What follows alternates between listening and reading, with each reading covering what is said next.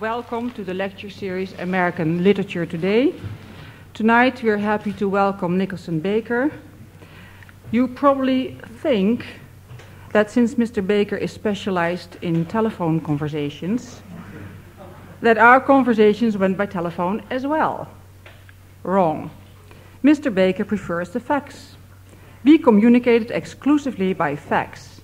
Since ba Baker doesn't own a fax machine himself, he has taken up the habit of using the fax of his neighboring flower shop. And so it happened that our memos and messages landed between tulips and begonias in Murray Street. Ladies and gentlemen, Nicholson Baker. Mr. Baker will be introduced by Atte Jongstra, a typical, unpronounceable Dutch name. Atte Jongstra is author and Etty Jongstraw. Would you think that a typical pronounceable is terrible? He, is, uh, he will introduce Mr. Baker and his work. And after the break, which is in about an hour, uh, Hans Bertens, who teaches English language and literature in the Utrecht University, will lead the discussion. Enjoy your evening.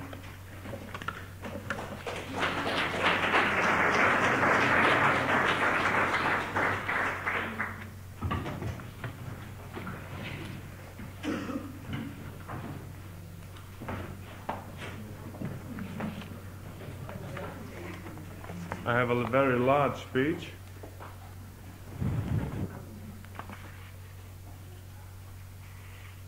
Which is called On Commas and Doorsteps, with an intermezzo on the nose in literature. What do a shoelace and a comma have in common? Or an escalator and a trunk call? Or the inside of a pillow and the place a footnote touches the text. Three difficult questions, but whoever poses them may begin to understand what Nicholson Baker's writing is about.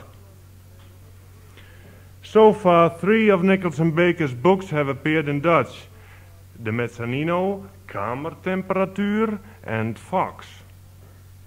Rather diverse books at first sight. Vox, in particular, written in dialogue form, stands apart. Baker's debut, the Mezzanine, and its successor, Room Temperature, being interior monologues, explorations in the head of an author who has declared this maxim of Flaubert as his motto God in every de detail.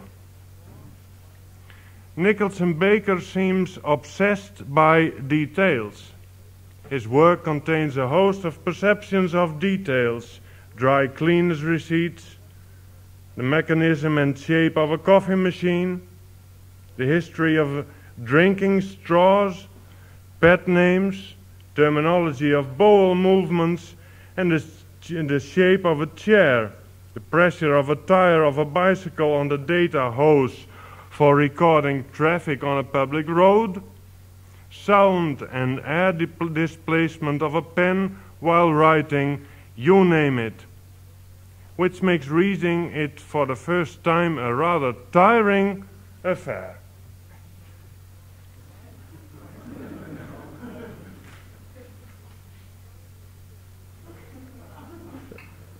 Time and again, in the mezzanine in particular, one feels afraid of losing one's way in that crowded office garden.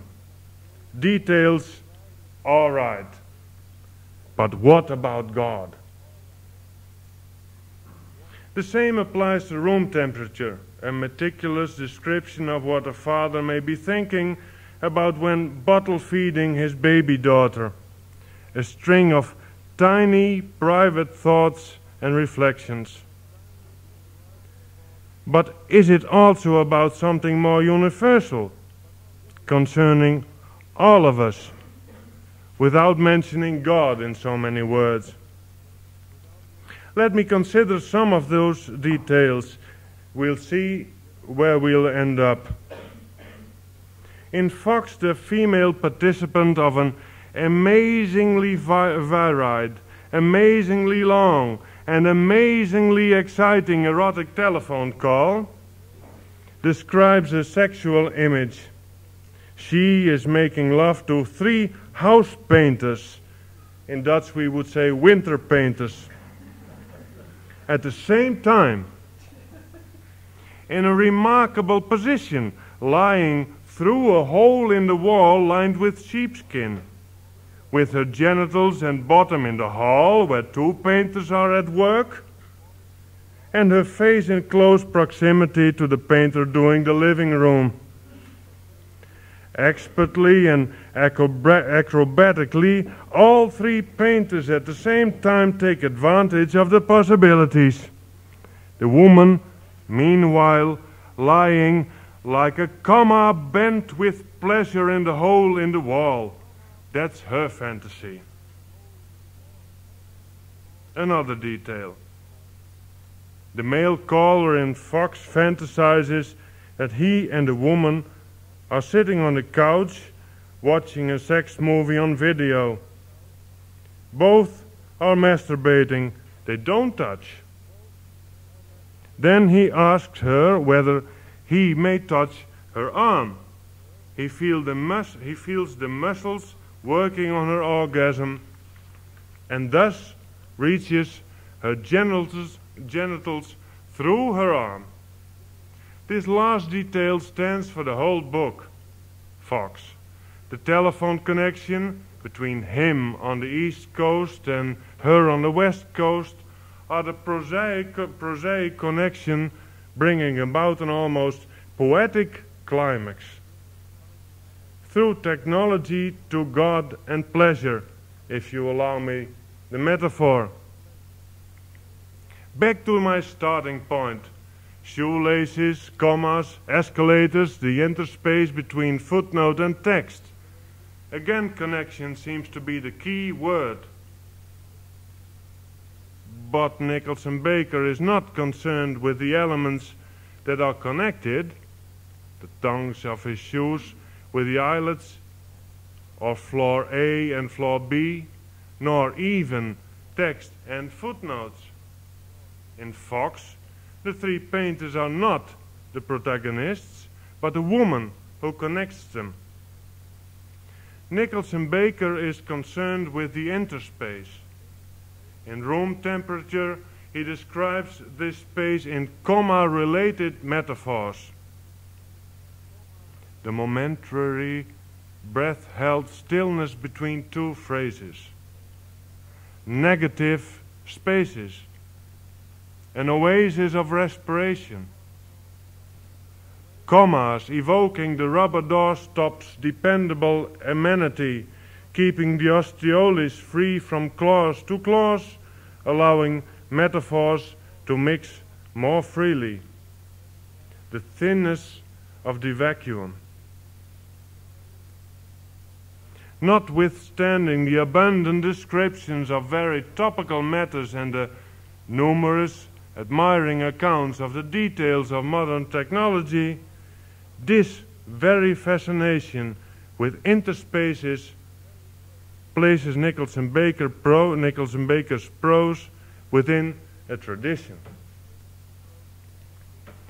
Considering the text of the Mezzanino, room temperature, and Vox, and Fox, this need not surprise us.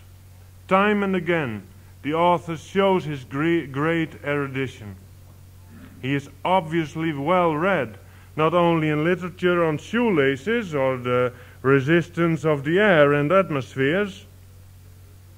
Hopkins, Tennyson, Verne, Shakespeare, Coleridge, Hergé, Gibbon, Casaubon, Baronius, Hermes Trismegistos, Milton, Emily Dickinson, Nabokov, a considerable number of reference books and encyclopedias. All these I found in room temperature alone, not only mentioned, but thoroughly absorbed.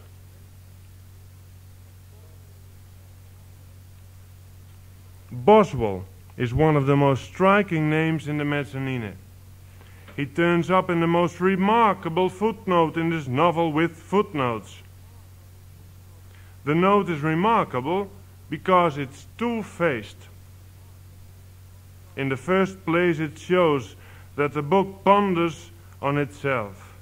It is even more remarkable because it explains, and now I quote, they, and we're talking about Boswell, Lecky, and Gibbon now, they knew what the outer surface of truth, that the outer surf surface of truth is not smooth, welling and gathering from paragraph to shapely paragraph, but is encrusted with a rough protective bark of citations, quotation marks, italics, and foreign languages, a whole variorum crust of ibids and compares and sees that are the shield for the pure flow of argument as it lives for a moment in one's mind.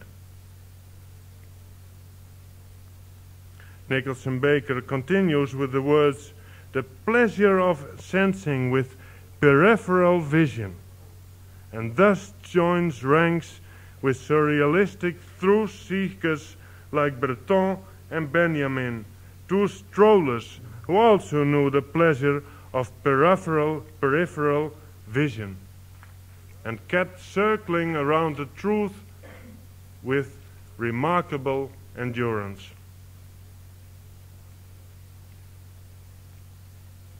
The metaphor of surrealistic strollers through the arcades of Paris is related to Nicholson Baker's tree and bark metaphor in the said footnote. Truth, the core of things, is covered in a probably impenetrable layer of appearances.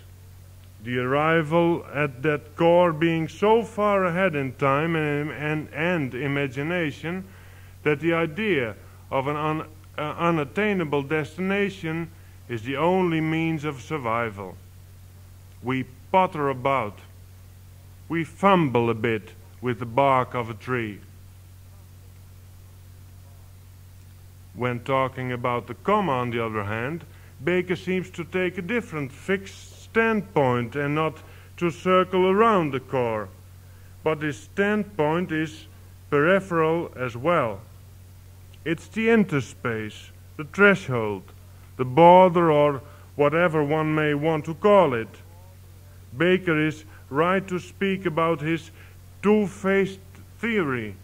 Truth abides in marginal spaces, in the air, between the lines, however difficult to perceive. For whatever way you look, truth is inside of yourself. Small wonder Baker's characters are introverts. So is his prose. It loves talking about itself. And now for my intermezzo on noses. I didn't mention Laurence Sterne among Nicholson Baker's list of authors' names. I may have overlooked it, but I hardly think so, loving introvert prose as I do because Sterne is a, perhaps even the, master of this kind of prose. I hesitate. Does not Baker mention him after all, be it indirectly? I cherish a very debatable theory on the nose in literature, almost against my better judgment. I once read Gogol's Dead Soul and was Dead Souls and was struck by the trumpeting sounds the protagonist produces in his handkerchief.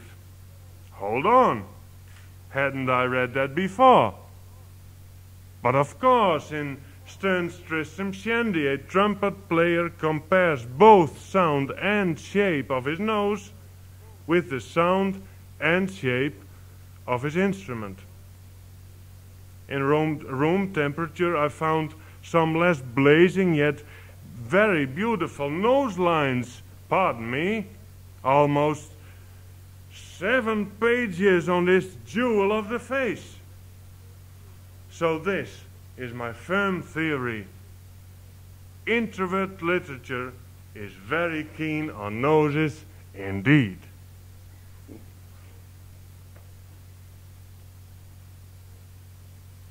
Earlier, I mentioned Flaubert's God in every detail. I equate this God, of course, with core or truth, there being not much Christianity in Flaubert. If we want to speak about the God in Nicholson Baker's work at all, we end up in another, earlier culture. The patron of his prose is Janus, the Roman god of house and threshold, the two headed go god. Two noses, too. He is, one might say, the ancient personification of his two sided theory.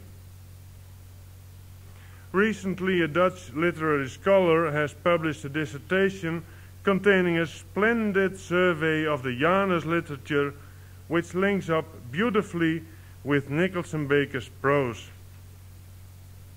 It is no coincidence that the title of the book refers to Benjamin and Breton, sluiproutes en dwaalwegen, shortcuts and false tracks. The said scholar, he as well, elevates the Paris walks to movements on the threshold. A beautiful turn, and quite right so, I think. Giving it a Bakerian twist, one could even consider this dissertation to be the fervently described essay on the theory of the comma in room temperature. Time to end this talk now. A stay in the interspace can be so pleasant as to lose sight of the time factor altogether. The space may, may be a thin vacuum. At the same time, this negative space is so littered with books and people, I hardly know where to begin, or once started, where to end. My talk here was primarily meant to recommend Nicholson Baker's work yet again. Let me summarize. Apart from the playful and humorous strength of his work, there we go his splendid sentences, the staggering arguments ad absurdum, the excitement he arouses in his reader's head and lower body, the unity of theme and variety of subjects, the explained inevitability it is being presented with, apart from all this, he makes one roam about in the world of literature. To me, Nicholson Baker's work is an oasis for respiration. What more would I want? Thank you.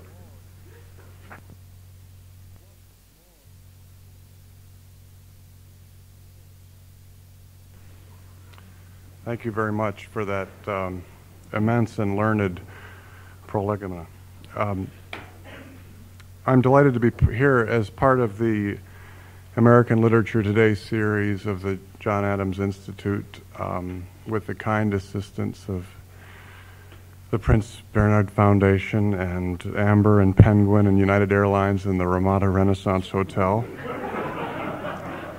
um, I, am not sure that I know anything firsthand about American literature today. Uh, but I do know one thing, uh, which is that um, American writers are expected to give readings.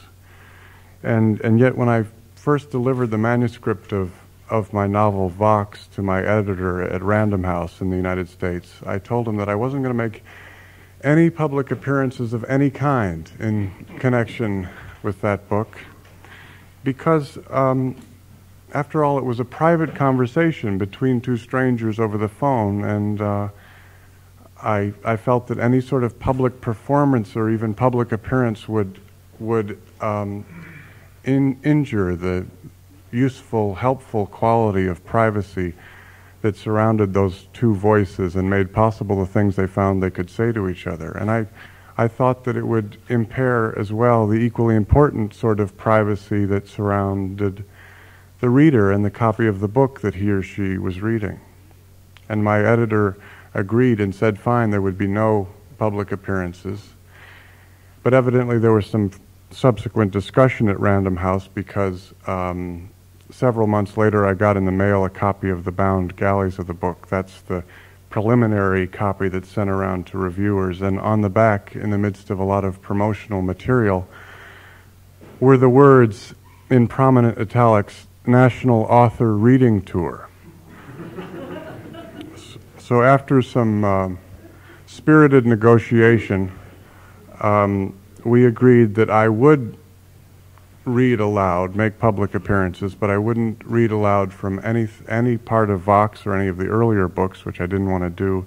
But instead, I would write something especially for that series of appearances. And when I was thinking about what I would write for them and, and what I would uh, write for this appearance tonight, I it seemed to me that the that the that the topic most in keeping most personally relevant to the whole idea of publicity versus privacy was simply the topic of what it really feels like to give a reading.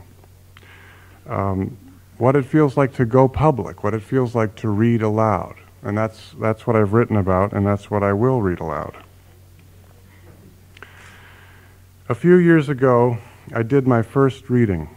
It was at the Edinburgh Festival in Scotland under a tent.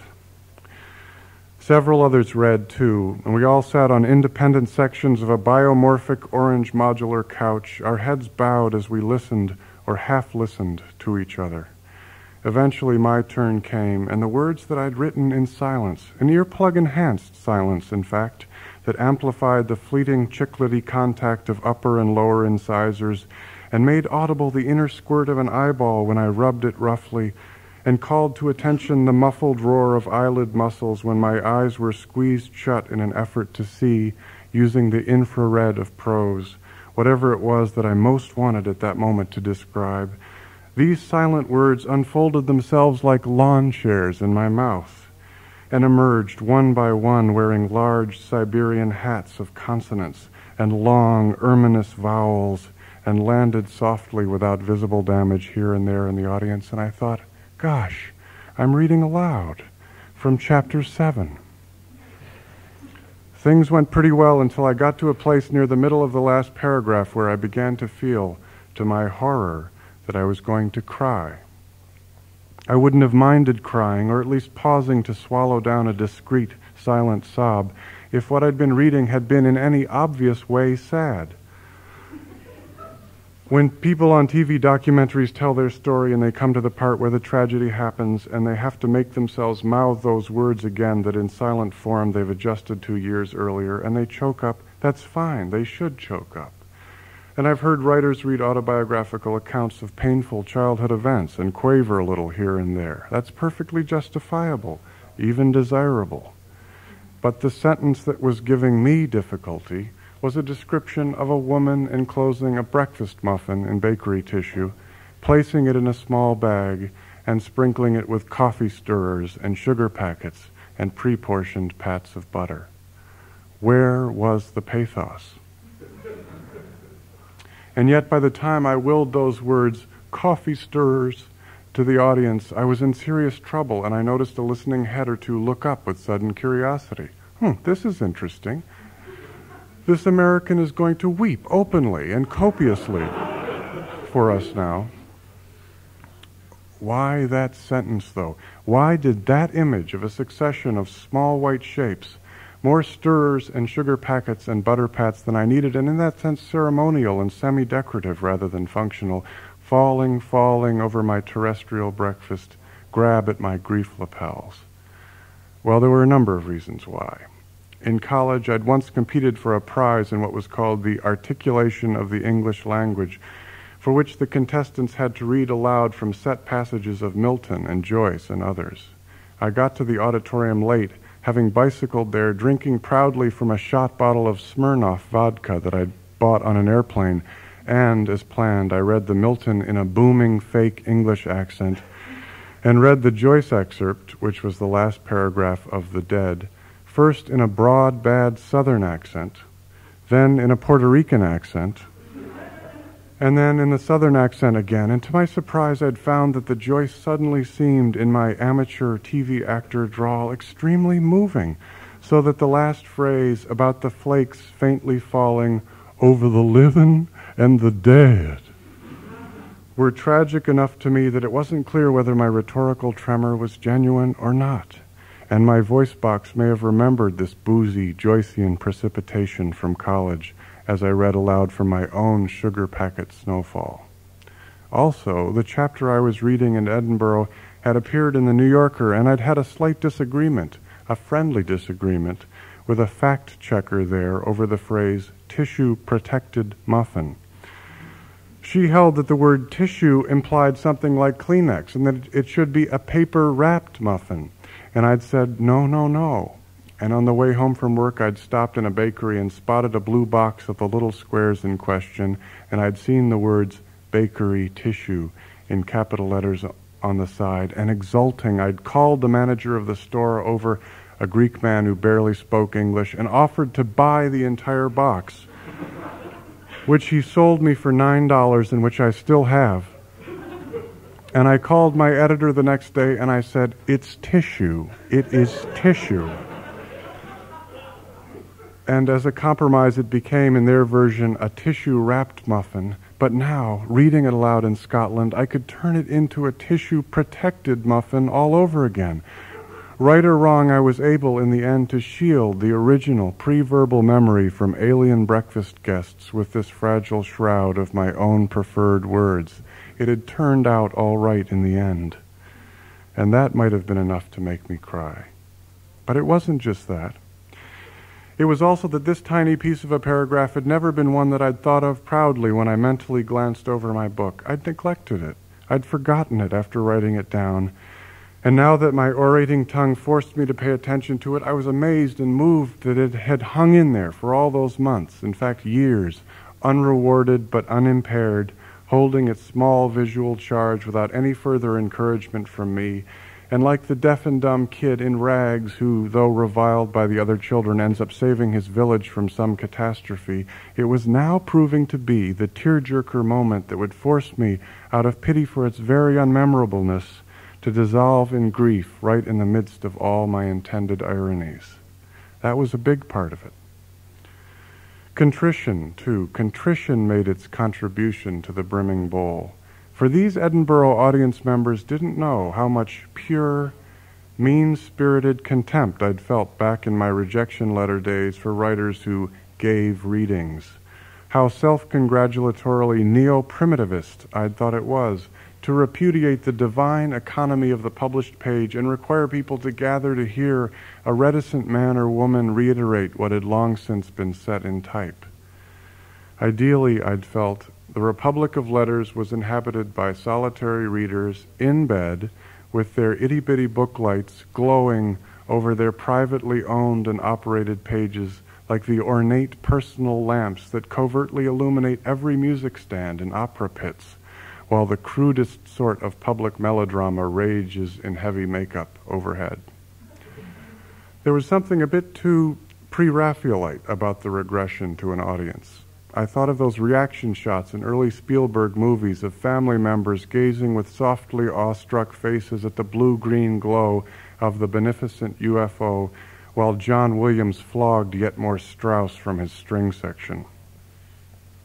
And there were the suspect intonation patterns, the I'm reading aloud patterns, especially at poetry readings where talented and untalented alike, understandably wishing in the absence of rhyme to give an audible analog for the ragged right and left margins in their typed or printed original, resorted to syllable punching rhythms and studiously unresolved final cadences adapted from Dylan Thomas and Wallace Stevens, overlaid with Walter Cronkite and John Fitzgerald Kennedy.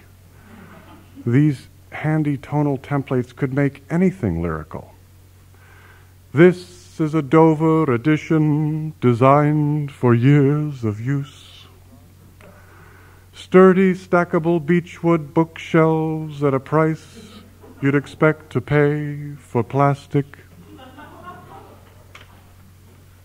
And yet, despite all this sort of easy Glenn Gouldy contempt in my background, there I was physically in Edinburgh under that tent among strangers, finishing up my own first reading, And far from feeling dismissive and contemptuous before my turn came, I'd been simply and sincerely nervous, exceedingly nervous.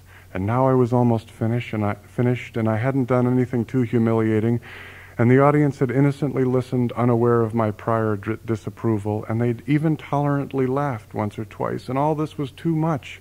I was like a crippled unbeliever wheeled in and made whole with a sudden palm blow to the forehead by a preaching charlatan. I'm reading aloud. I'm reading aloud, I was saying, my face streaming with tears. I was, I was cripple and charlatan simultaneously. Evidently, I was going to cry out of pure gratitude to myself for having gotten almost to the end without crying. And then, as the unthinkable almost happened, and the narcissus bulb in the throat very nearly blossomed, I recognized that if I did break down now, the intensity of my feeling in this supposedly comic context would leave the charitable listeners puzzled about my overall mental well being. At the very least, I would be thought of someone going through a stressful time. and it would be this diagnosis they would take home with them rather than any particular fragment from what I'd read that they liked. And whenever I tried to write something light and lively thereafter, I would remember my moment of shame on the orange couch, and to counteract it, I'd have to invent something bleak and brooding and wholly out of character. I couldn't let it happen. I couldn't let reading aloud distort my future output. I started whispering urgent ringside counsel to myself. Come on, you sack of shit. If you cry, people will assume you're being moved to tears by your own eloquence. And how do you think that will go over? That was frightening enough, finally, to stabilize the nutation in my Adam's apple, and I just barely got through to the last word. And since that afternoon in 1989, I've read aloud a number of times from my writing, and each time I've been a little more in control, less of a walking cripple, more of a charlatan. I've reacquainted myself with my voice box, when I was 14, I used to feel it each morning at the kitchen table before I had any cereal. It was large. How could my throat have been retrofitted with this massive service elevator? And what was I going to say with it? What sort of payloads was it fated to carry? First thing in the morning, I could sing in a fairly convincing baritone the sax solo from Pictures at an Exhibition and as I went for a low note, there was a unique physical pleasure not to be had later in the day when the two thick, slack vocal cords dropped and closed on a shovelful of sonic peat moss. Sometimes as I sang low or swung low, it felt as if I were a character actor in a coffee commercial, carelessly scooping glossy beans from deep in a burlap bag and pouring them into a battered scale. The deeper the note I tried to scoop up, the bigger and glossier the beans until finally I was way down in fava territory. I was Charles Kuralt. I was Tony the Tiger. I was Lloyd Bridges. I was James Earl Jones. I too had a larynx the size of a picnic basket, I felt. And when you heard me, you wouldn't even know it was sound, it would be so vibrantly low. You'd think instead that your wheels had strayed over the wake up rumble strips on the shoulder of a freeway. Just above the mobile prow of the Adam's apple, just above where there should properly be a hood ornament, was a softer place that became more noticeable to the finger the lower you spoke or sang, and it was directly into this vulnerable opening, this, this chink, it, this chink in the armor of one's virility that I imagined DJs secretly injecting themselves with syringes full of male hormones and small engine oil so that they could say traffic and weather together with the proper sort of sawtooth bite. And though my own voice has proven to be, despite my high secondary sexual expectations, and even though I was pretty tall, and tall people often have vox boxes to match, not quite the pebbly, three dimensional mood machine that I'd counted on, I do occasionally now like reading aloud what I've written. I get back a little of the adolescent early morning feeling as I brachiate my way high into the upper canopy of a sentence, tightening the pitch muscles, climbing up, and then dropping on a single word with that Doppler effect plunge of sound, so that the argument can live out its closing seconds at sea level. I feel all this going on, even if it isn't audible to anyone else. And sometimes I know that my voice, imperfect medium though it may be, is making what I've written seem, for the moment, better than it is, and I like playing with this dangerous intonational power and even letting listeners know that I'm playing with it. It's not called an Adam's apple for nothing. That relic of temptation, that articulated chunk of upward mobility, that ever ready dial tone in the throat, whether or not it successfully leads others astray, ends by thoroughly seducing oneself. Thank you.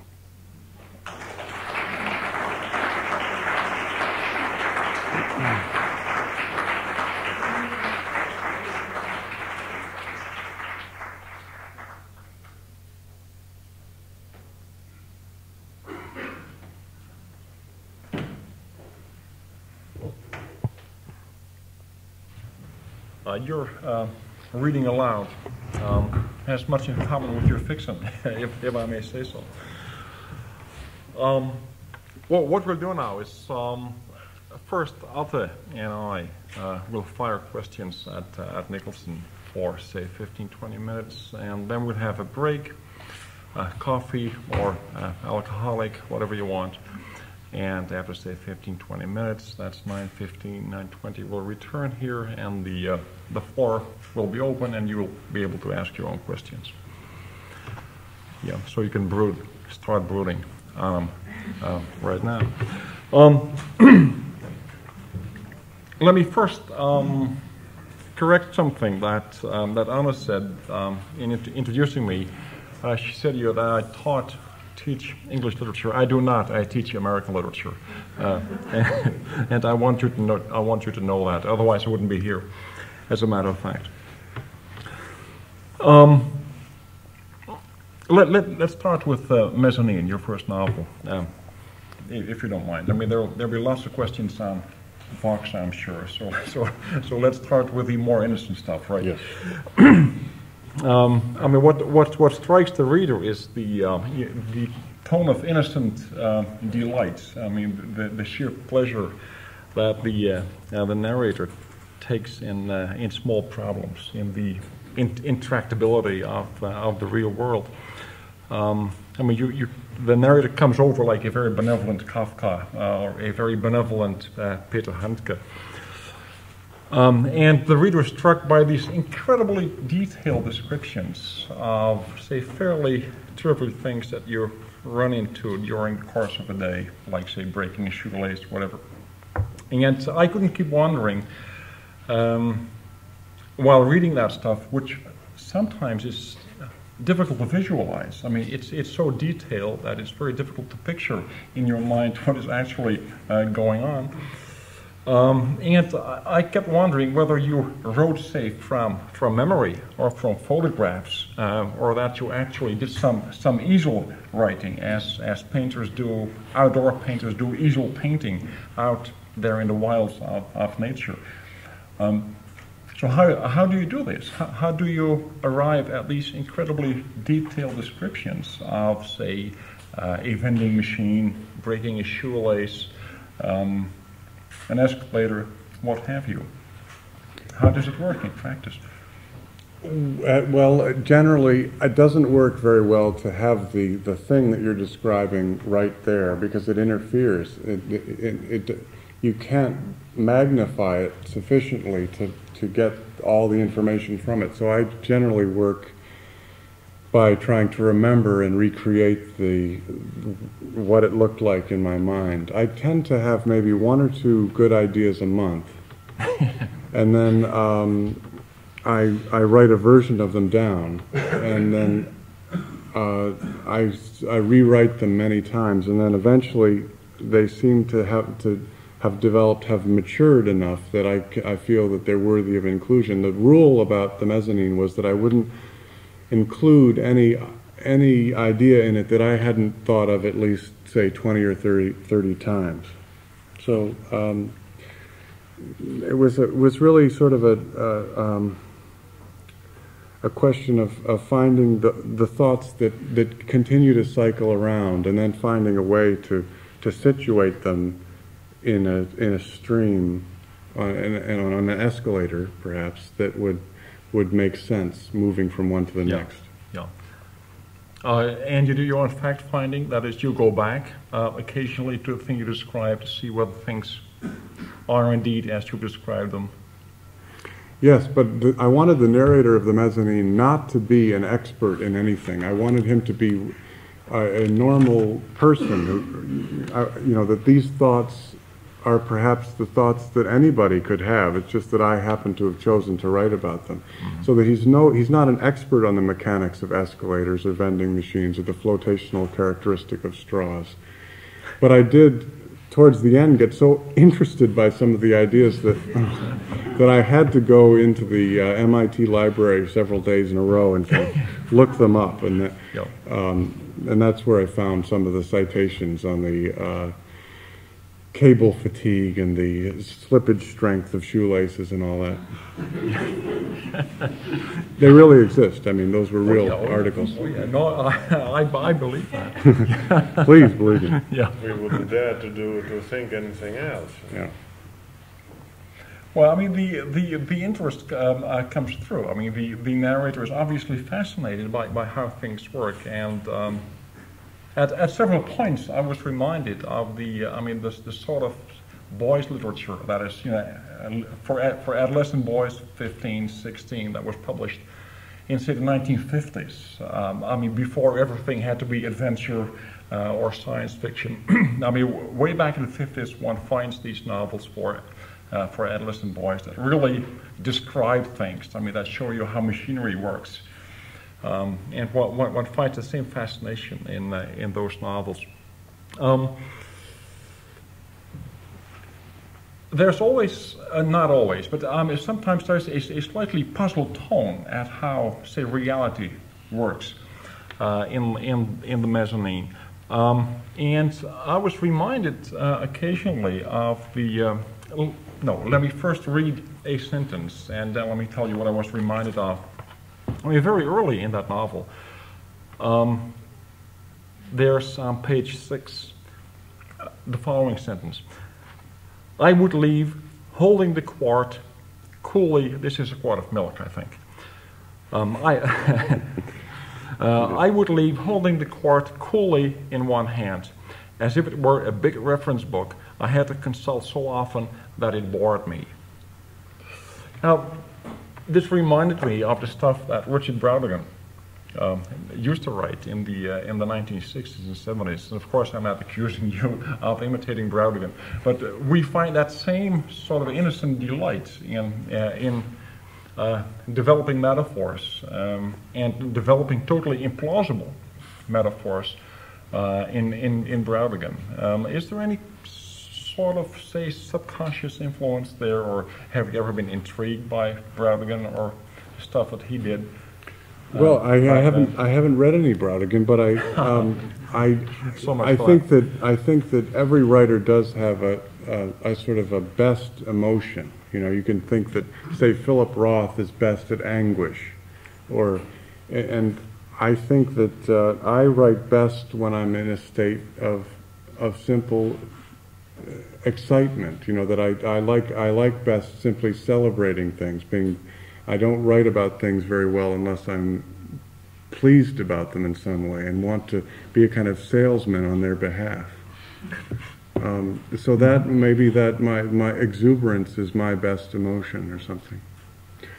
I, I do think you're right too about that the resemblance about to the those uh, 1950s books about uh, how how things work, how machines work. My great grandfather, in fact, wrote at the turn of the century, um, or a little later, uh, a book called The Boy's Book of Inventions, um, detailing you know these these marvelous uh, things like the hot air balloon and and. Um, but on the other hand, you, you know, it's it seems unfair to to limit the excitement to boyhood. I mean, these these these machines are wonderful, and and what what happens with machines like escalators is that you get past the gee whiz phase, and yet you still have to ride them, and and eventually you accumulate a whole host of secondary emotions um, that surround them, and those also can be interesting.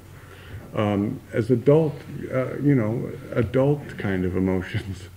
So um, I, I guess I wanted to maybe you know bring the bring the boy's book of inventions past its adolescence into adulthood. Is, is that okay? Uh, um, let's let's say jump to um, uh, to room temperature. Uh, although I'd like to come back to this. Um, th- there is some of that in room temperature too, uh, but you're distracted, as it were, by um, the, the, narrator. let me let me not confuse you with your narrators. Uh, the narrator is, is distracted by uh, by by the baby, and um, um, it's, it's true that the baby triggers, say, similar responses, uh, but there's, say, um, more, what do you want, depth? That's not really the word. Um, so say there's um, um, at least two centers of, of excitement in, in, uh, in room temperature. There's the continuing interest in, in detail uh, in, how, in how things work. I mean, uh, at the very mechanisms of, of of things. But there's also the interest in that in that new life. Uh, did that interfere uh, with each other while you were writing that book? Uh, it seems to me, if I may say, be a little bit critical, that every now and then there there is that interference. That it's not easy to go from the one emotion to the other emotion. Mm. Well, I think I mean, it, writing loses its interest unless you feel you're taking risks with every book. And, uh, you know, with the mezzanine, I was risking writing a whole book about this guy going out to buy a pair of shoelaces, you know, and, and saying, sort of implicitly claiming that this was a Tolstoyan subject of, you know, great moment.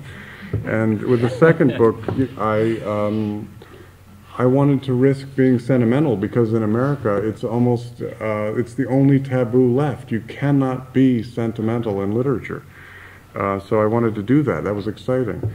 And there's also a, um, a progression, I, I, hope, in that the first book is this guy uh, uh, looking at machines. So he and the stapler, you know, and, and, and really that's the transaction. In the second book, there is another person in the room. It just happens to be a six month old child, so it's not a speaking role. But we have two people in the room. Then with Updike, there's uh, the third book, which hasn't been translated, but um, uh, is, a, is a book about my imagined relationship with John Updike. Um, there, there's me, it's an autobiographical book, and then there's John Updike, and, and I actually quote John Updike. So, in a sense, even though we aren't mm-hmm. in the same room, there's, there's this going back and forth. And then finally, uh, after much struggle with Vox, I actually have two people talking to each other. They're still not in the same room, but I'm feeling that I'm, you know, I'm moving slowly clo- towards this. It's, it's a major breakthrough. This millennium where there really will be two people in the same room. Yeah. talking. Yeah, I mean, you'll, you'll end up writing the group in, say, 20 years' time. Rewriting Please, the group. if I'm lucky, yeah. yeah. Um, why, why Updike, by the way? I mean, now that you mentioned the, the, the, the third novel, which has not been translated, unfortunately, uh, why why Updike? I mean, there's reasons, I think, but I would like to hear you spe- spell them out if possible. I mean, wh- why not Bellow or, say, Malamud? Oh, no, he's dead. Not Malamud, but um, Roth, um, Pynchon, you name it. Why, why Updike specifically? Well, Updike is the is the living American writer or living writer that I've thought about most continuously, and and and he's sort of the model of of the American man of letters. So everyone in my generation has very complicated, and ambivalent feelings about him. And but I really wanted to use him not so that even people who didn't know Updike or care about Updike would think of this as a kind of case study of what it's like to remember and not remember what you read. What I did was I wrote the book without any preparation. I haven't read all of Updike. In fact, I've read less than half of what he's written. And instead of going back and reading the books in series to prepare, I just I just started writing the book, and I, I had to depend entirely on the little that I remembered of the books that I'd read. And it just it seemed to be truer to the way we really use what we've read than if I had prepared. So it was just uh, my my um, a core sample of, of what I knew about this particular writer. Yeah, is there, is there a certain affinity between, between, say, your position and Updike's position, both, um, um, say, uh, white, sort of middle-of-the-road Americans, um, both interested in, um, uh, say, middle-class Americans, uh, both interested in detail. I mean, after all, Updike is also pretty strong on uh, on detail. Uh, is, is, is there also this kind of interest in um, in in Updike as as someone that you especially want to grapple with um, because he's in a sense too close for, uh, too close for comfort. Mm-hmm. Sure. I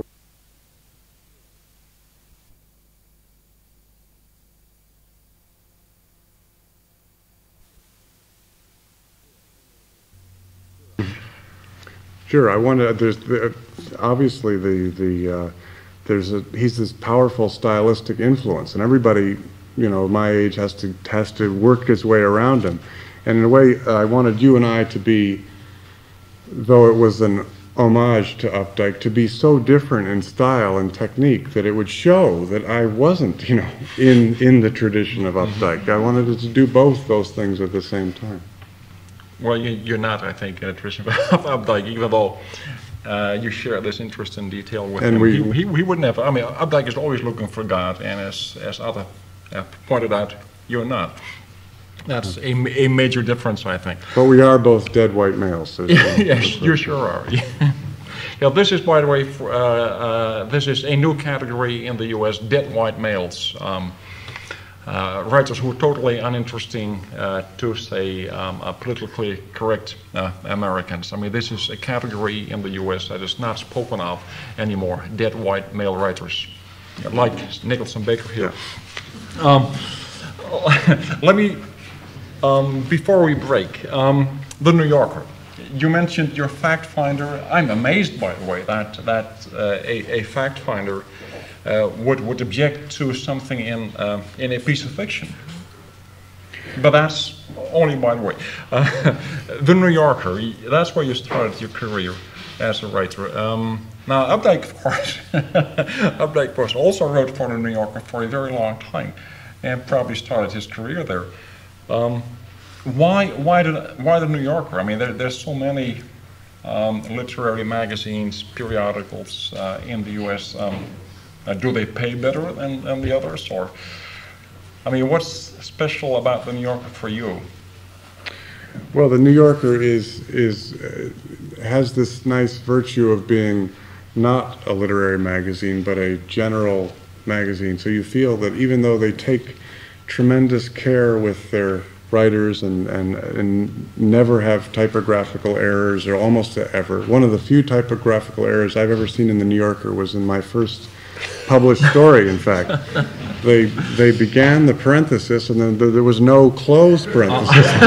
Um, so I felt that I'd, I'd made history of a sort. But um, they, they just, they're general enough, mainstream enough, and yet are careful and literary and have taste. And so it's, it's every writer's, well, it's some writer's dream to be in that magazine. Um, and then, of course, you, the struggle later on is to to show how you are not a New Yorker mm. writer. yeah, yeah. yeah, they they they also go in for a certain sort of say experimentalism. Um, would you, would you qualify your your say writing, especially say the first books, um, as as experimental? Um, I don't like to think of myself as postmodern or uh, you know try, experimental. I want to think of myself as as simply thorough, methodical. That like a good graduate student, I pick a narrow topic and then give it everything it deserves. I, I, I want to be thought of simply as a realist. Were you a graduate student once? um, No, I, I- think that's one of the problems. I've, I never did get, get to be a a graduate student, and so I've had to put some of the scientific uh, instincts into, into my prose. You're, you're a lot more thorough than lots of graduate students I know and have known. um, let's, let, let's have a break here and meet again in, say, uh, 20 minutes. Okay?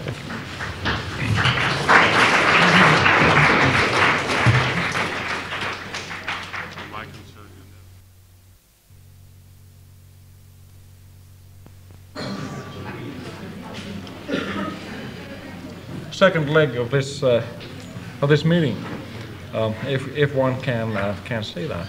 Um, first, uh, I'm going to ask um, Nicholson a couple of questions about his connection with the New Yorker. Uh, this is mainly for the benefit of the, of, of the video camera that's running, uh, because in the near future there's going to be a program on, uh, on the, um, the New Yorker as a actually a literary cultural magazine, um, and uh, some people would like to have some footage of a say well-known writer saying things about a New Yorker. Uh, then, um, then um, Atte uh, will come in with a question, and after One- that, one question, yes. only one question, and after that, uh, we will throw the whole thing wide open, and, and you will get the um, um, you know, the opportunity that you have been craving for the last, say, 45 minutes. Um, okay, first, now those you know those those New Yorker questions. Um, is is the New Yorker actually the first magazine that you approached with your unpublished manuscripts? Um, mean, did you do some writing in school? Uh, did you publish locally, uh, statewide, or did you go nationwide immediately with the New Yorker? I think my first rejection letter was from the Atlantic, but I, I, then I got a number of rejection letters from the New Yorker. I have um, maybe, you know, 80 or 90 rejection letters from various literary magazines. 80 but- or 90? But the New Yorker is the most, the, they have a beautiful, stately little rejection letter that, um, and they, I remember that they had the, they had the classiest paper clips. They had a, a wavy, wavy paper clip. I felt that they really, they put their money in the right place. But my first publica, my first published story, for better or worse, was in a little magazine called The Little Magazine. And uh, then, uh, and I'd, I'd always wanted to be, the, the way the re- real writers are first published in the New Yorker and they go on to a string of successes. But, so, uh, but unfortunately, the little magazine accepted me and published me just, and it came out just a week and a half before the New Yorker came out. So I was doomed to be a late bloomer. I, I can see that, yeah, um, but you recovered, fortunately. Um, uh, you still write for the New Yorker occasionally, or have you broken completely with the? Uh, No, no, no. I, I, I, the last thing I published was the Talk of the Town piece, and an anonymous. They're all their Talk of the Town pieces are anonymous. Um, uh, um, a, a piece about an ice storm that happened in my hometown. But the New Yorker, um, after I got in, also then rejected me a number of times. Um, oh, they still do that. yeah, it's not as if you're in the club and then you're, you know, they, uh, they, I think that's good. They want people to write their best, and the only way to do that is to keep people scared. All right. So, so, so, so even if, if you belong to the stable, as it were, you can get kicked out. Yes, Yeah, at any right. time. Yeah, I mean, th- does that mean that there's um, there's obviously enough competition uh, then for them to be able to do this? I mean, they can afford to do this. I mean, does that mean that say every aspiring young writer uh, is dreaming of being published in the New Yorker? Yes, I think they get some num- something like forty thousand uh, unsolicited manuscripts a year, and I, I, I once tried to do the math, and it, it turned out that given that I think they had eight fiction editors, so each editor had to reject four stories a day or something like that. But I can't. eh, Well, that's probably not right. But anyway, there's a there's a kind of a steady Yeah, I see. flow that they have to deal with. Yeah, uh, but you, you're from New York yourself. Uh, you, you you never considered going west, for instance, uh, to San Francisco, uh, Los Angeles with your stories, your, your, your fiction? Oh, no, I sent them everywhere. I, I, uh, uh, it just happens that the New Yorker, it's, it's called the New Yorker, but really it's a national magazine. The, um, but I sent, when I was in my rejection days, they, I was sending them to Ohio and, uh, you know, any, any state, any city, any literary magazine that had any, that, that had a nice layout and looked, you know, appropriately pretentious. They got my stories, and then they sent them quickly back. You, you have an explanation for that? Well, it takes a long time to, for every writer to find, you know, whatever it is original that he has to contribute. And, you know, if you're 22 years old, it's not very likely that, unless you're a prodigy, that that, that that's happened yet. So Um, it took you me, say Bret Easton Ellis or somebody like him, right, that may have, that may have happened in this case. or Carson, Carson McCullers. Uh, but, but, but, but we talk about young burnouts too, of course, so. Um, it's probably better to break it to print if you're a little bit older than, uh, older than that. Um, okay, um, I think we got it fully covered. Uh, so let's now turn to uh, to Atte, um, My who wants to question. question you Yes, on, I had I a think, some aspect of the Yes. uh, of the mezzanine. I already uh, said that um, all those details in, in, in your novels uh, may uh, look, for the, for the first reading anyway, a bit tiring. Don't you think all those footnotes are even more tiring? You should know, by the way, that he does that himself. I mean, he's published a novel which contains lots of foot, lots of Yes. footnotes. Well, I'm just, I'm just repeating a, a question which uh, people ask me. And Well, I like footnotes, and I, I felt in a way that I was doing a service to the reader, in that you know, if, if he or she didn't didn't want to follow my in-depth discussion of the flotational characteristics of the straw, could just carry on with the main text. But if if there was the interest and the and the willingness, you know, the reader could follow me down there to that that compressed little ghetto of of type, and and we could both uh, frolic around down on the bottom for a while. but I I I am not of the school of writers who want to make the reader uncomfortable. I want, above all, to be liked in a kind of pathetic way. Um, so, uh, you want the reader to cry. yeah, I, well, yeah, or, or laugh or something. But I, I, so I wanted the footnotes really to be just, um, they were an act of desperation for me. I had more to say than I thought could conveniently be accommodated by each paragraph. And so the, the compression just helped, uh, sort of helped the typography, helped the look of it. Didn't you even confuse the reader more? Because some, some footnotes are uh, not exactly uh, helping the main story. I already mentioned the Boswell note in the end. But uh, I think you drag the reader down into the depths of the library in a way. Well, but those are that, that's the joyous thing about footnotes is that they do have this heterogeneous uh, complexity. They, um, you know, they are the points of contact with the rest of the world. The, the book is this self-contained unit, but the footnotes point, you know, carry one outward. Um, To? That's to, to other books and to, to other uh, observations. Um, so I, Well, no, well, that's, well, to It is not nowhere a in boring particular. question, you know. But uh, I'm asking that because uh, uh, I think that uh, I, I wrote a critic about uh, your, uh, the, the mezzanine once, and um, I called it, I think, a library in the office garden, a librarian in the office garden, but especially the footnotes drag you down into the library, not so much the text itself. Well, most of the footnotes. What, what, what kind of function does a library have uh, uh, in this very clean, superficial, uh, described, pardon me, uh, uh, office garden? What, what's the connection between the office garden and the library? I already have more questions than one. I'm Appar- sorry about Apparently, this. yeah, yeah. Yes. Well, I, You should I, have told me. Yes.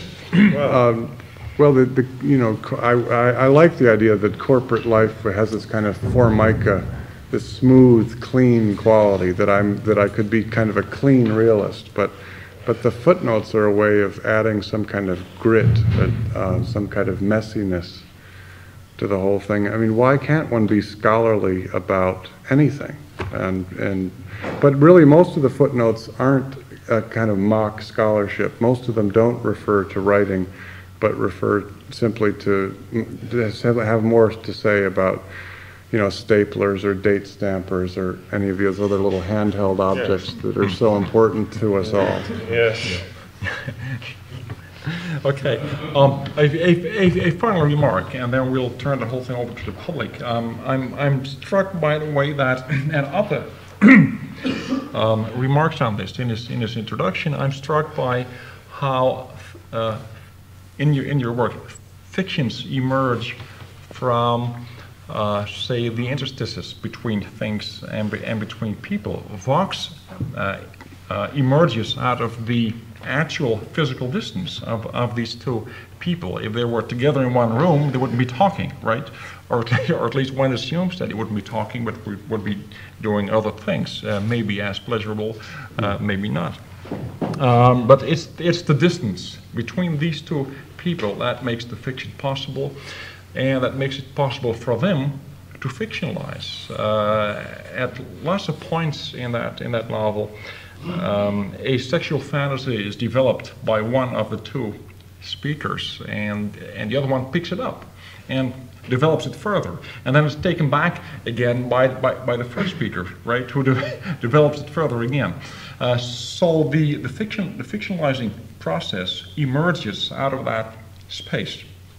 Uh, and, I mean, this is a very literal example, but one also sees it in room temperature, uh, in, in the mezzanine. Fiction em- emerges out of the distance between people and the distance between, uh, say, people and the object world out there. Is, is that a conscious strategy on your part? Um, or is this simply, say, a, a habit of mind? Is this your own emotional outlook on the world that comes into this, that sort of suggests this strategy to you? Well, it's, it's, it's too easy just to say that X character loves Y character. And what you have to do is say X character actually was, you know, picked up the earplugs of Y character and put it in his ear. So you have to, if you root the sentiment around a thing, you end up with maybe a more, uh, a, a, an more interesting texture for whatever emotion. But I'm, oh, I'm interested in, in emotions, but but I like them to, to take Baroque exotic roots. And the telephone is this miraculous machine, you know, that narrows the stream of communication down to a single filament. The two characters have to depend, as you said, entirely on language and on the inflections that they give to words. They have to finish their sentences. You know, and that's that's important to a writer. I have a solemn duty to finish my own sentences. All right. Thank you. Um, let's now turn it over to you. Um, if, if you have uh, questions, that is. I'm sure you have. Um, uh, except for a small percentage, I think, uh, of people in the world, we can all write, but we are not all writers. Um, except for a lot of discipline and hard work, to what, to, to what do you attribute that difference? Um, a writer friend of mine says that a lot depends on the fearlessness, the real power and, and strength and courage to, to break through the crust that we use to protect ourselves and to really expose ourselves on the page. Do you agree with that? Well, maybe there is something to that. There's this kind of fierce feeling that you get, um, well, that I got, for instance, in writing Vox, where I, I kind of, I gleefully said to myself, you know, I'm a pornographer. you know, um, and it was, it's very liberating to, to, to say that. But We uh, haven't said that. We have not used that word. no, but well, for better or worse, it didn't turn out to be pornography. You know, it turned out to be a work of art. But um, um, but you know, there there is there's this. You have to work yourself up into the fearless state, and then uh, you know, fearlessness combined with magnification or something like, some mixture of, of fearlessness and, uh, and simply an attentiveness to, to words and mixing, making the tolerances tighter between nouns and adjectives and things. But sure. I think if I may say something, uh, it's. Uh, no. Thank you. I've said enough, I think. Let's, No, but it has to do with. Uh, can't, can't keep myself, sorry. writers are fearless, right? This is, this is a Uh, demonstration. yeah, it's a demonstration of fearlessness, yes. No, but I mean, if you if you want to carpet a, cu- a, a cupboard, you have to have technique for that, and that's the same with. Uh, it's not only hard work, and it's not only uh, you have to you have to uh, learn the trade. Not only hard work. My God, not everybody can write. You have to specialize yourself on. Uh, I, don't want. I don't. I don't want to do. Uh, how do you call it? Uh, Parnasic like, Parnassus uh, like uh, uh, about writing, but uh, it's still you, you, you, you close yourself up, you lock yourself up in an office, and you start to work. But the, then then you start uh, you, you come up with the difficulties of the of the of the job, like a carpenter who wants to make a cupboard. You have to specialize yourself on the job itself. It's not just that everybody can write. I mean, if you uh, everybody who specializes on, on writing, that's something else. then it's just a matter of ideas. Okay, back to the, Reality. back to the audience. Uh, yeah, I wondered if um, uh, you or anybody else had tried to um, calculate how long it takes for the conversation in Vox to take place and uh, what telephone tariff rate it goes on in. I just wonder how much it costs uh, if you did it in real life. It de- yeah, well, it depends. Sorry, I, as a second I asked Yeah. that for totally frivolous reasons, but because it seems that as uh, human interaction is increasingly taking place in an electronic virtual network with increasing interactivity and uh, engagingness of uh, uh, presence. Um, I wondered if in America there was more of a political dimension to our access to telecommunications because uh, it seems like there's a lot of economic and legal things that need to be got around, such as censorship and you charge for access to these uh, this new world that is happening. Um, well, the, the first part, I'd be very curious to know how much it really cost. I mean, the the people, uh, is it Entertainment Weekly magazine has this little column where they calculate how much the furs in X movie really cost and everything, and I wish they would figure this out. But it really depends on how slowly the characters talk, of course, and I want the reader to, you know, make it go fast or slow, depending on how he or she wants it to go. So I don't, I think it would be between, say, uh, say, two and a half and four and a half hours. So that's, and uh, since they're spending two dollars a minute, that's, there's, they're spending a considerable amount of money. They're each spending that much money. And, and it's, it's almost, it's, it's, you know, they're simply, they're spending a fortune simply for the privilege of talking to each other. And I guess if there was, you know, some straightforward moral, it's that, um, you know, when it's good, conversation is priceless. And that these two people who are just single people getting by sexually happen to have run into each other and, uh, and it's just very important to them to be able to talk and have this courtship all compressed into these three hours.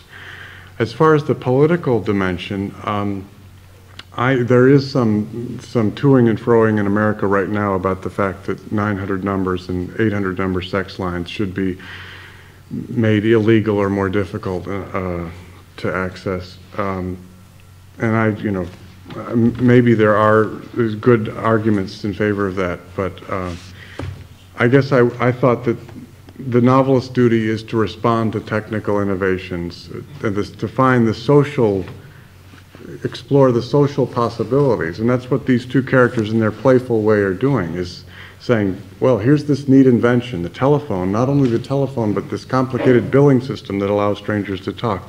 What can, what social, new social forms can we evolve collaboratively out of that? Do you think there's a correlation to the first answer that um, if it was a lot cheaper to make telephone calls, maybe more of these beautiful conversations between strangers would take place? Yeah, it's funny. They were there used to be ten cents a minute in Boston. There was a whole, time, but it, the price suddenly went up, and I think organized crime got involved. That's what I heard, anyway. Uh, this, the, there's always a political dimension. How did you research? Um, well, I I didn't call any of the sex numbers. We'll believe that. We'll believe While, that. while I was working on the book, because I didn't want to disturb the delicate mood that I was creating um, between the two characters, I did call them afterwards to see, to make sure that, that, you know, I, I technically could, um, that the two characters could meet, and then there's this, they, the, what, the way the book starts is that they've already shunted off into a, to a one-on-one connection out of this so-called party line. But, you know, I, I didn't, uh, when I listened, I didn't sit there with a yellow pad taking notes. This is a, this is an imagined conversation. This is a hypothetical, a fable almost. What if two reasonably amiable um, people were to call and were to hit it off? This might be the transcript of what they would say. I had one more question about you. Uh, talking about the footnotes. I haven't read that book yet, but I'm very curious because I always read footnotes, even when they're terribly boring. but um, you, you mentioned that when you read uh, the footnotes that you will, would refer to other books. Aren't you afraid you're going to lose your reader? They go read the other book. Well, the, the nice thing about footnotes is the reader can figure out what he or she wants to do. I mean, I, I heard that someone read the whole book without reading any of the footnotes and then read the footnotes in series afterwards. You know, my own, uh, my own way of doing it would probably have been to open the book, read all the footnotes and ignore the main text entirely. you know. But, you know, it's up to the, if, if, if, if there was a citation that was entrancing, I would uh, recommend that the, you know, that the reader just go off and go to the library immediately. By the way, why didn't you put a register in? The, Uh, an index on names and, uh, Oh. and subjects. Well, it's a novel. It's a novel, and it's, uh, that seemed Well, uh, mock, well, mock scholarly, yeah. I, be, also because Updike had used the index, index in, in the Centaur, uh, no, in, uh, I think. Was it, it? it- yes, he had an index in Bech, but he also had an index of, of mythological references in the Centaur, and I thought I would be shamelessly plagiarizing Updike if I did. Right. I'm ashamed now.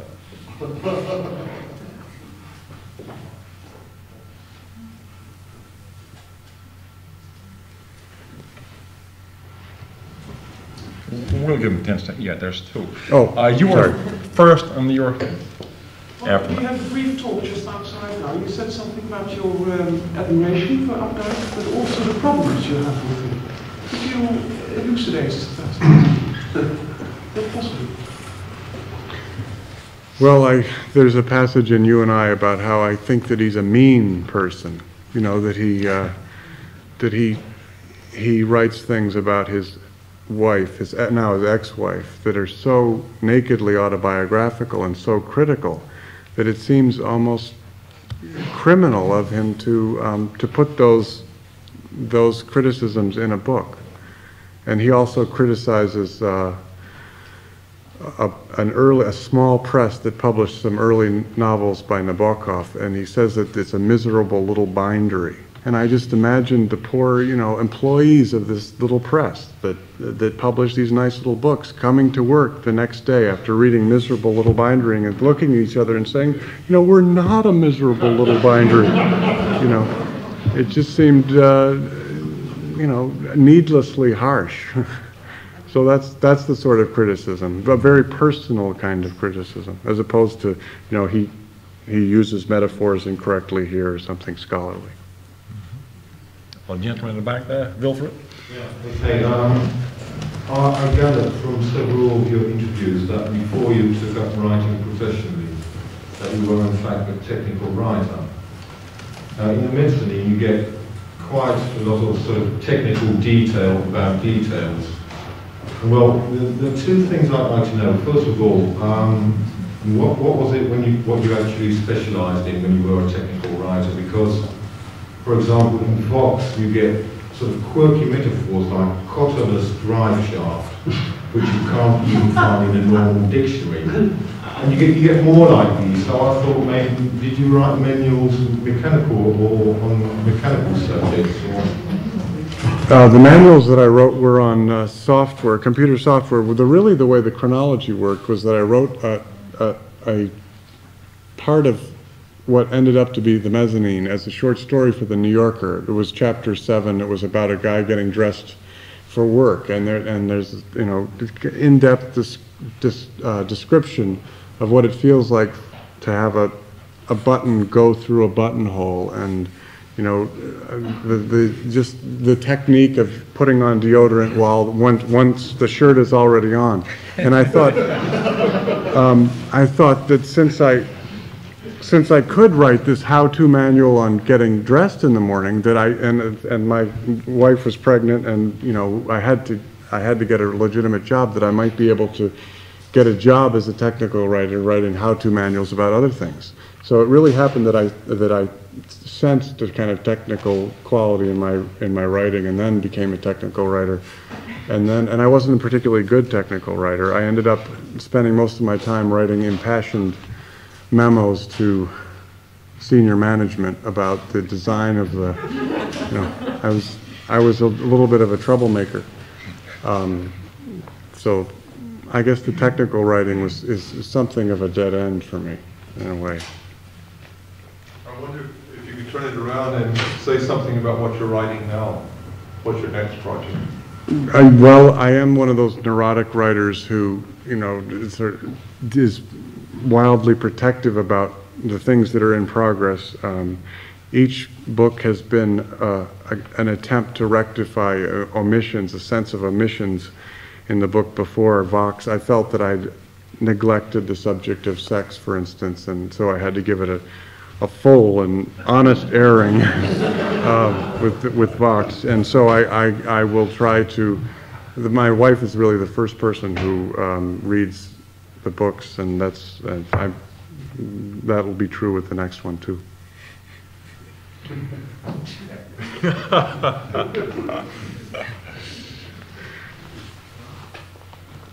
well, let me um, pick things up again if there's and, and so and people can keep on brooding.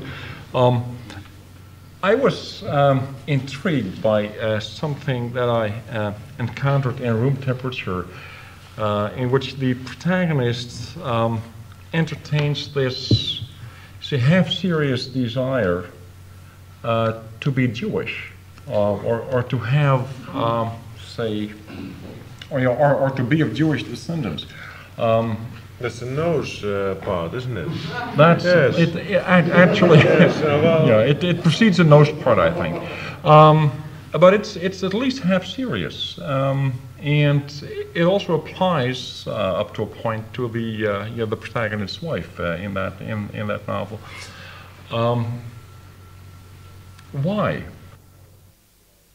Well, the Jewish American writers were the ones that I liked best. They're the funniest. You know, Jewish poets are, are, are the best. So, also I that I am Quaker, predominantly Quaker, and there's there are many family traditions about how we were lapsed Jews, and um, so that is autobiographical. The sense that you know that I am externally obviously a WASP, and yet you know secretly I'm hard.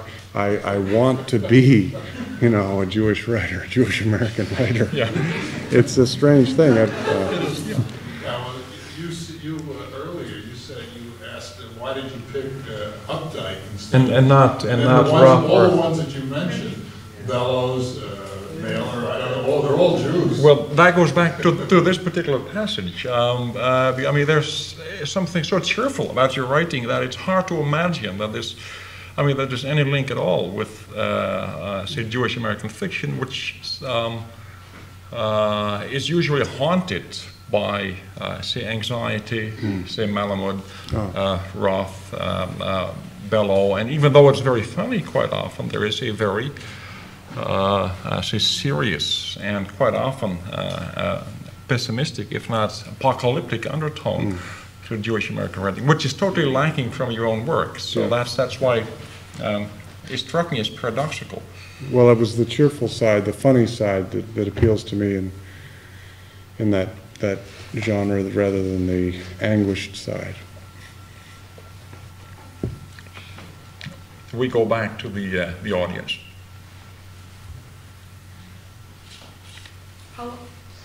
Yeah, uh, first a gentleman in the back, and then uh, and then it's your turn again. Okay. Uh, I wonder if you had much uh, feedback from your uh, translators, because um, it seems that your, your use of language has such a lot of nuance in it that that was lost in the translation. Your writing maybe could end up sounding like a technical manual in uh, Dutch, or maybe someone in the audience who's got the Dutch and the English versions could help you out the answer. Well, I do get long lists of questions. The Spanish translator especially sent, you know, an eight-page letter with many, many questions about specifics. And um, the German translator was very curious about what the phrase "tap pants," what what were tap pants. Uh, well, and so I had to Xerox a, a page from a, a lingerie a lingerie catalog and uh, you know fax it to him.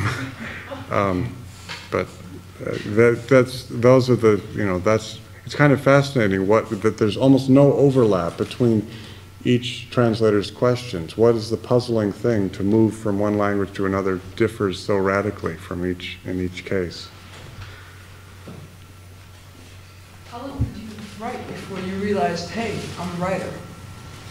Um, I started writing when I was 20 in 1977, and I first got published when I was 24. The first fiction I did was when I was 20, so it took me four years to get published. And it, but I didn't really feel that I had hit on my style, on what I what I could do well until I wrote that that chapter about a man getting dressed, and I felt that I was finally, by adopting the first person, um, able to speak in a way that was closer to the way I thought. So, and that was when I was uh, um, 26. So it took me uh, six years of work.